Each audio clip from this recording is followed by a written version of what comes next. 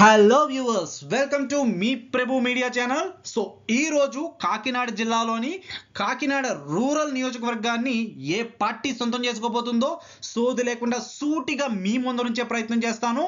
కానీ మీరు నాకు చేయాల్సింది ఒక్కటే. ఛానల్ని సబ్స్క్రైబ్ చేసుకుని వీడియోని లైక్ చేయండి.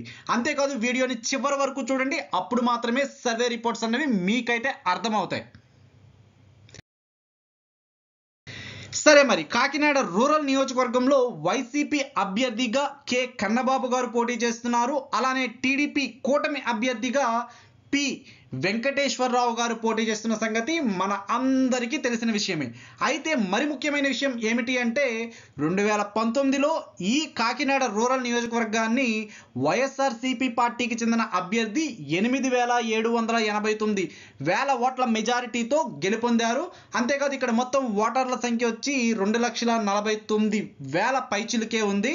సరే ఇక రెండు వేల ఇరవై నాలుగు విషయానికి వస్తే మీ ప్రభు మీడియా అనాలసిస్ ప్రకారం కాకినాడ రూరల్ నియోజకవర్గాన్ని టీడీపీ పార్టీకి చెందిన అభ్యర్థి గెలుచుకునే అవకాశాలు చాలా ఎక్కువగా కనిపిస్తున్నాయి.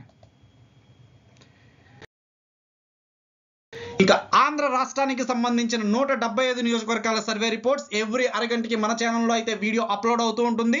మన జిల్లాకి సంబంధించిన వీడియోలన్నీ వాచ్లో ఉంటాయి. ఆంధ్ర రాష్ట్రానికి సంబంధించిన వీడియోలన్నీ మై సజెషన్లో ఉంటాయి. సో ఇలాంటి వీడియోలన్నీ నోటిఫికేషన్ రూపంలో పొందాలి అంటే మన ఛానల్ని సబ్స్క్రైబ్ చేయండి లైక్ చేయండి షేర్ చేయండి. Thank you